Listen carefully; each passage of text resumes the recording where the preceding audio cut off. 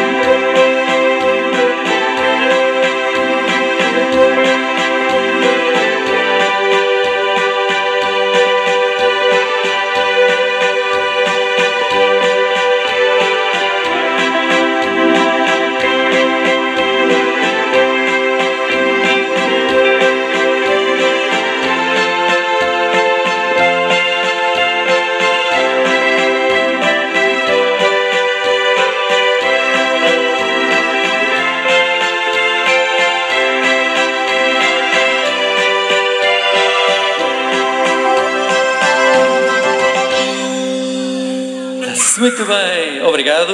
Quem é que estava a falar no Kuduro?